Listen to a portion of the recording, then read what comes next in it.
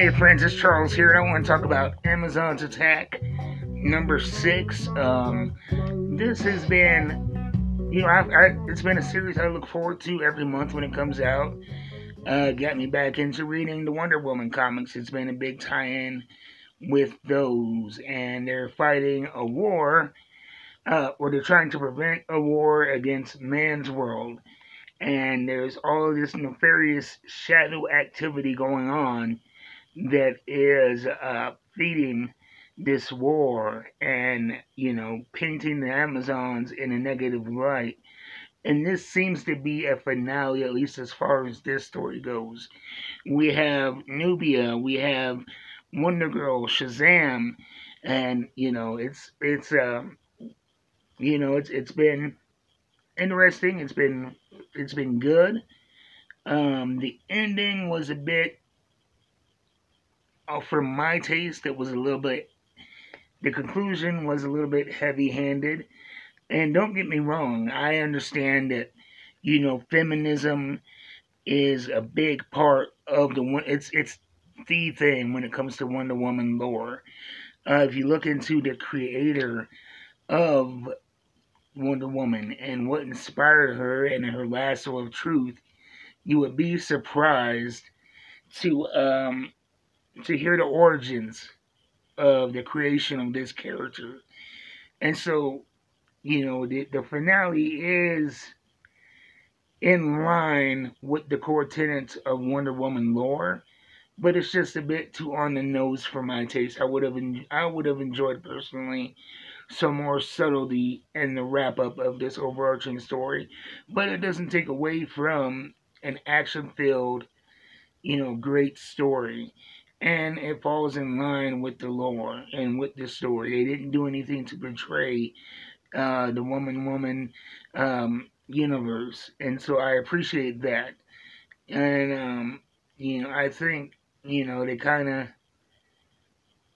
you know there was so much subtext and mystery throughout this that I didn't expect the obvious ending, but still, it didn't ruin it for me.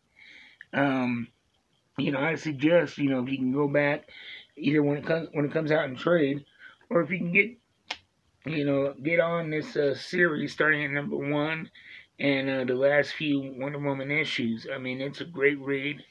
It's not time wasted, I'll tell you that. And I enjoyed it, and I really enjoyed seeing Nubia again. And, you know, Wonder Girl, I think her name is Zora. I enjoyed seeing her again. Uh, the Shazam character I was not familiar with. And this lady whose name I cannot remember, she was in um the last uh, big event in the Wonder Woman universe that tied that tied in um um it tied in Nubia and Wonder Girl and Wonder Woman. Um, you know, and that was a fun one as well. So I'm looking forward to it. I hope they do more Nubia, more Wonder Girl. I really enjoyed this. If you haven't got into it, if you like Wonder Woman, you will not be disappointed. And um, so that's my thoughts on Amazon Attack. Um, it should be coming out in trades pretty soon. And, you know, if you're signed up to Previews World, but you don't have a local LCS, I always suggest my boy Jeff at Coffee and the Comics. Uh, safe, secure, speedy delivery, and uh, great customer service. You know, I've never set foot in his physical store, but he makes you feel like a small, like you're patronizing a small business. So that's it. My review, Amazon's Attack. I would give it an 8 out of 10 for the series and even this issue. There's some great action in this issue. I I I, I almost didn't mention that. The uh, final battle is as epic as it should be, but um, I guess my issue is not so much with the tone or the action, just like I said, with the on the nose moral of the story, so to say.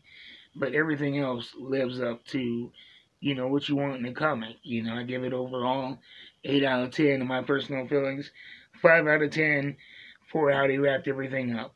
But anyway, I'll see you guys next time with more toys, more comic books, and just more nerd culture. And uh, this is after WrestleMania, so congratulations, Cody Rhodes. Maybe I will do a video talking about my one Cody Rhodes action figure in a celebration of his big WrestleMania win. Who knows? Anyway, you guys take it easy. I'll see you next time.